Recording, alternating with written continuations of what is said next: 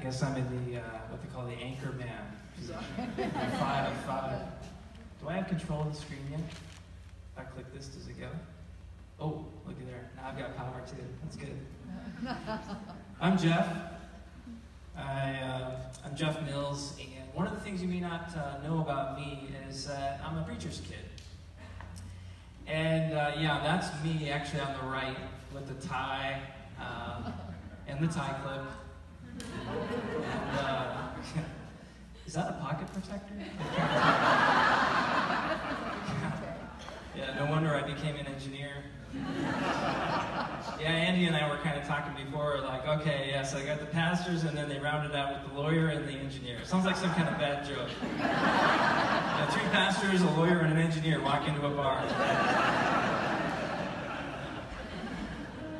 So, you know, needless to say, uh, as a pastor's kid, uh, we moved a lot, especially in the Methodist church. Uh, I don't know what John Wesley did. I guess he was addicted to travel or something, but we moved a bunch. And uh, I don't know about you, but there's got to be who's moved. Raise your hand if you've moved. Yeah, pretty much everybody. Isn't it a pain? There's got to be a better way, right? So I found this the other day, and I thought this is the way to go. Just you gotta you gotta be able to. That's just the one. Am I pushing this the wrong direction? It's to the right, and that advances it. Yeah. Okay. You know, just check it up on the wheels and roll out, and you're good. That's what I think we should have done, but we didn't. So uh, I got used to being the new kid at school because of uh, moving a lot. And, uh, you know, nothing says outsider like big glasses and plaid.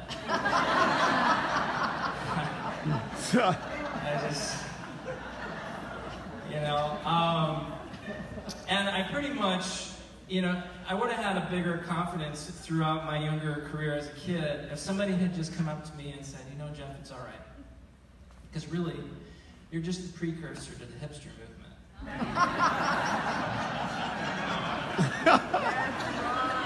I would have had so much more confidence growing up.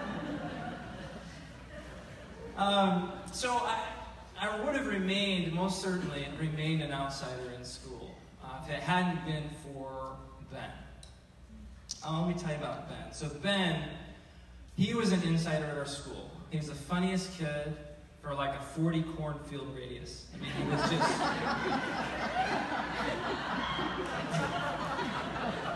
and the thing about it is, he took one look at me and said, Oh my gosh, this guy's gonna get eaten alive. so he took pity on me and started inviting me and including me and, and you know, introducing me to all of his friends. And over time, I became an insider in that group of friends. And eventually, I became, uh, Ben became uh, my best friend. I funniest kid in a 40 45 radius. And, and ultimately, he became my best man. Uh, so here's the deal. We all know what it's like to be insiders, and we all know what it's like to be outsiders. Right. That's good. And without a doubt, we know which one we prefer. Yeah.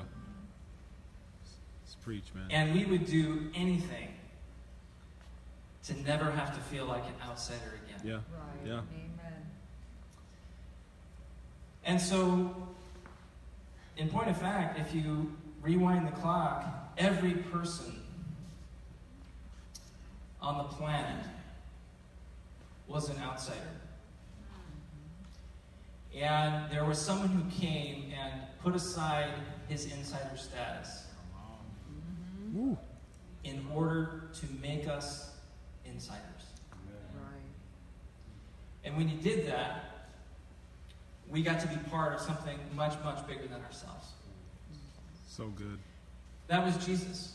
That's what Jesus did. And his invitation to us, his inspiration to us is his whole mission was I've included you. Now you include others. Wow. Preach, bro. That's so good. So good. So, our outsiders are in every sphere of life. Thank you, Jesus. Our, we have family members at our table or at a distance who feel like they can't get an, a word in edgewise. They feel Mm. alone. They feel no one's paying attention to them.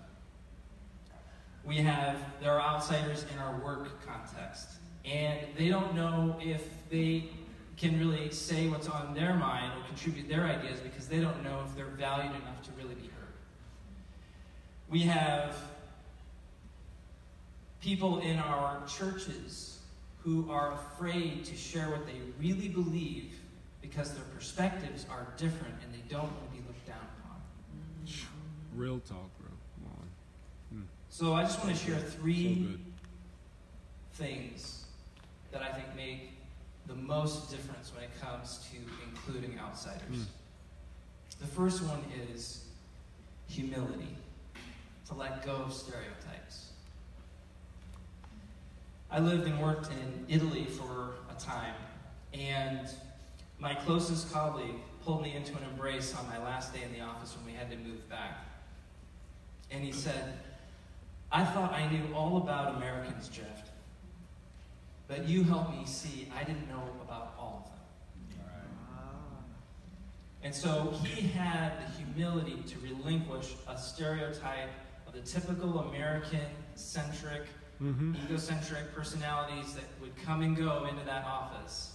And our, our interaction was completely different than that. And so you never know when that next interaction is going to slice right through the stereotype. And so we have to have the humility to let go of those predefined notions of who people are. That's good, Geoff. So good. The second thing is courage. Courage to confront exclusion Yeah. when it's happening. Yeah. Yeah.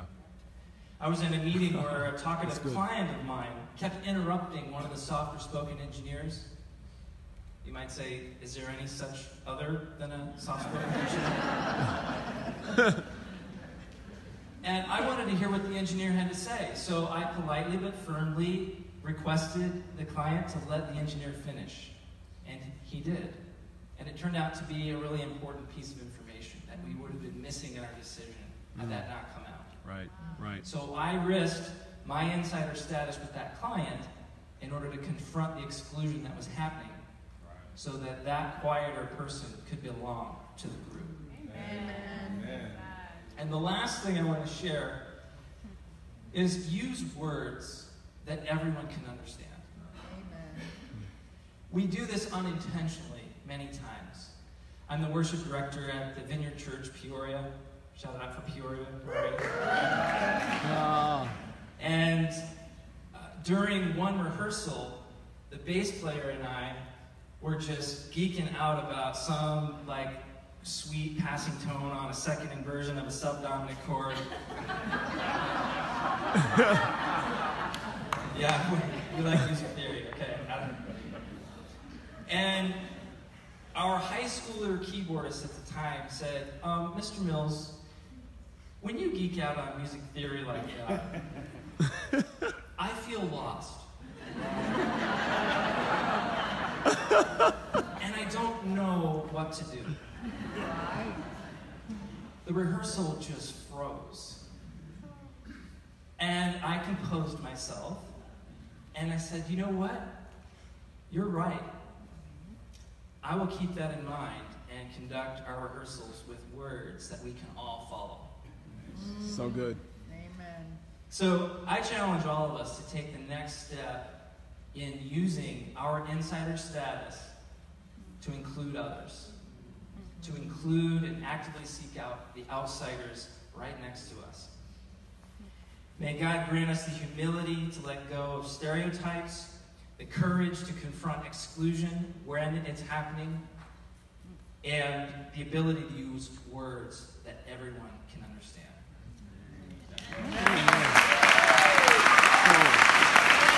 So so good. So so good.